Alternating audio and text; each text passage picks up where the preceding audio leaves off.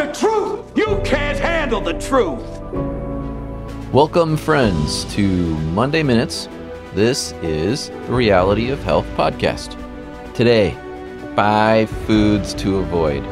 This is by no means a conclusive list. This is just five of the things that I think are terrible for you, for anybody. First one is oil. So, all your cooking oils, all your salad oils, anything that you use that is not tallow, which is from beef or ruminant animals, lard, which is from pigs, or ghee, which is from butter. With the exception of very high quality olive oil, or the only avocado oil, which is the brand called Chosen Foods. Do not trust anything else. It's all cut with different vegetable oils. Now, with your olive oil, it has to be from a legitimate producer. Generally speaking, it will have a certification on the label. It'll tell you where it's from. It'll tell you when it was bottled. And even though it's not extra virgin, as long as they can prove where it comes from, that's fine. Extra virgin is just first press. That's all that means. The rest of those olive oils from those same producers are just fine. You might use them to cook with or something rather than to just consume with your food or as a salad dressing. Avocado oil, same way. You got to make sure that it's not cut. And the only one that we know of right now is Chosen Foods. Everything else is cut. So that means any other oil besides that, I do not believe is healthy for you at all whatsoever. This episode, we're not going to get real in depth with education. We're just putting these out there on why you don't need them. Vegetable and seed oils are absolutely terrible for you. I discussed this in episode 14 The Two Killers. Vegetable and seed oils are not healthy they disrupt your immune system, your mental health, your weight, your metabolic activity, your sexual health, your immune system, everything. They harden your cells. I know it sounds weird, doesn't it? But it's true. It actually hardens them. That means cells die. The next one is kale and spinach. But Eric, I've heard my whole life those are healthy. Nope, they're not just because it's green and just because it's a vegetable or a plant does not mean it's healthy for you. Would you go eat poison ivy? No. Why? Because you know you would hurt you. Well, kale and spinach hurt you. You just don't feel it right away. It accumulates. It has what's called oxalic acid. Did many of my episodes on this, talking about it. But basically, oxalic acid is like billions and trillions of little razor blades running throughout your body. Then your body has to respond to that situation by collecting it as much as it can. And then when it tries to get rid of that collection, comes out through things like eczema or bowel disorders or headaches or sore joints or sore muscles, etc., etc. And the worst part of it makes kidney stones. Oh, yes also hardens in your body all over the place. Takes a lot to get rid of it. So the more you keep putting in, the harder it is for your body to deal with and get rid of. Oh, and just a quick side note on oil those vegetable and seed oils can take up to six years to get out of your body fully. Yeah, that long. It can take an entire lifetime to get rid of oxalic acid. The reason why you get the kidney stones is your kidneys are trying to get rid of it. Kale and spinach are two of the highest. Guess what else is high? Ooh, things like almonds. Almonds are not a good nut to consume. The next would be salad dressing. That would be anything that you've purchased. Literally, almost every single thing you can purchase. You need to make your own. There are so many ways to make your own. Do you even need salad dressing?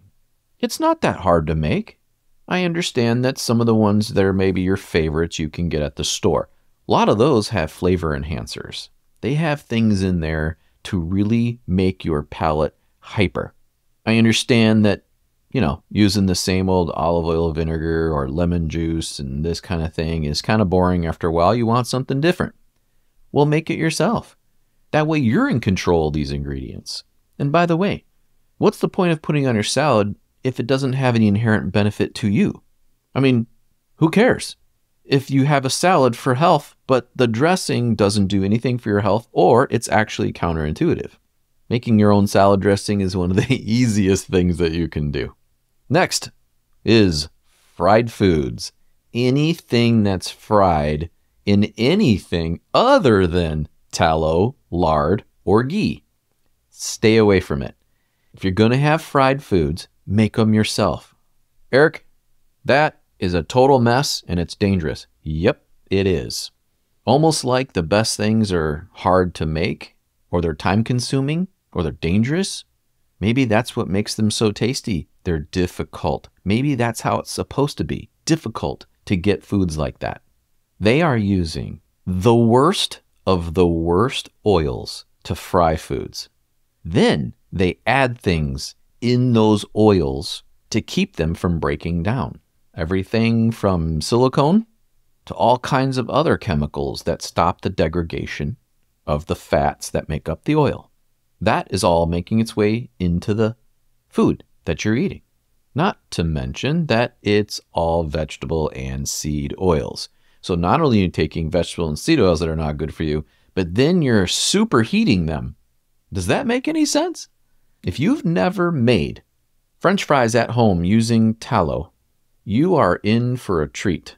It does something different than vegetable seed oils do. It creates a better overall mouthfeel, texture, and flavor. So good. And in some cases, you can use other things. Like, let's say for example, you wanted to have fried potatoes of some kind and some chicken. If you get the chicken breasts or the thighs with the skin still on it, cast iron pan or some other vessel that you can get a good sear, all you need is salt on the skin, make sure it's super dry, in the pan, sear it, render all that fat out, cook that chicken fully in whatever way you want then pull the chicken out, you've got chicken fat. Then add your potatoes to that chicken fat. Ho, ho, ho, ho. So good. So good. And you are in control. Now, if you got really good chicken, organic, pasture raised only, any other chicken you shouldn't eat, it is that much healthier for you and tastes so much better. Super simple dish to make. The pan's doing all the work and you're left with super tasty food that's healthy. Number five, fast food. Yeah, you knew that one was coming, didn't you? Well, what can you say? Fast food is absolutely terrible for your health. Why are you even doing it? I'm starving, Eric. I'm it's hungry. I'm hungry. The kids are hungry. Uh, we got to get some food and it's fast and I can get on the way home and you don't understand. My life's so busy. I understand. There are ways around not eating fast food. Let me ask you a question. Is it better to eat fast food because you have to eat, knowing that it's detrimental to your health, or just maybe making the option to not eat at all and then wait till you can get to food?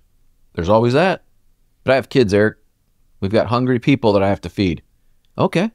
If you know you're going from work to home, there's going to be a restaurant in between. You have that in your speed dial. Remember that? Call the restaurant up. Order some food that you know is healthy. Pick it up on the way home. Nowadays, fast food costs the same as a regular restaurant. Some cases, it's more.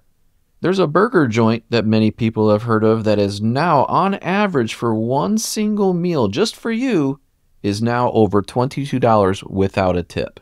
That is insane. Here's another one for you run into the grocery store. I'll bet you I can run into that grocery store, pick up two items really quickly, go pay, and get out to my car faster than most of the lines that are forming around fast food restaurants. I'll bet you. You got kids, maybe it's just you, whatever. You could run in there, grab a really high quality yogurt as an example, and maybe run over and grab, I don't know, pre cooked bacon, something that gives you some chew maybe some carrots. I don't know, whatever you like. Quickly, two items that you can eat in the car if you are that hungry. Kids in the back seat, give them a yogurt. You already have some plastic spoons in the car. they can at least have that on the way home. See, it doesn't take much. You just spent way less money. You're in and out just as fast, and you were in control of your food. These five foods are horrible for your health. They will have major implications, not just now, but in the future. It all builds up. So why not start small? Take these small steps every day. Change your life by what you're putting into your gullet. Yep, I just said gullet. All right, that's it for this Monday. If you don't already know, I do a Monday Minutes and a Wednesday morning episode. And this Wednesday is going to blow your mind. You're going to want to listen. Trust me. If you like the concepts I bring you each week, well, this one's really to upset the status quo. See you over there in two days. Take care of yourselves.